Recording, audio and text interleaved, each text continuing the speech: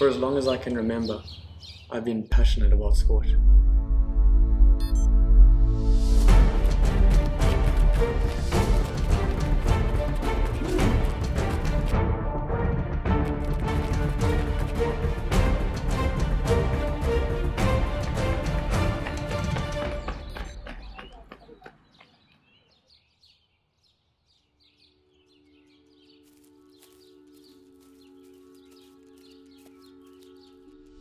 Running is my way of disconnecting from the stresses and chaos of everyday life.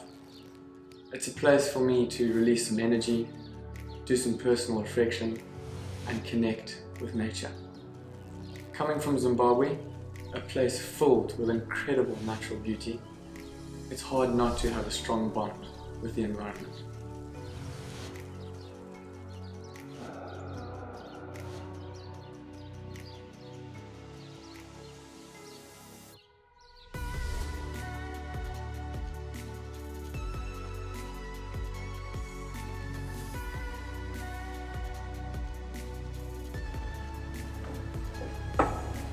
I'm Tom Chadwick. I'm 24 years old and I'm currently studying a Master's in Sustainable Energy Futures at the Imperial College of London. I spent the first 22 years of my life in Africa and I believe that it played a huge role in my adoration for sports, the outdoors and environmental conservation.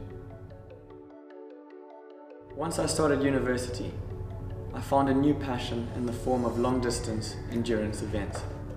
As a result, I've completed the Table Mountain Challenge, a number of half marathons, a half Ironman, and the Robben Island Swim.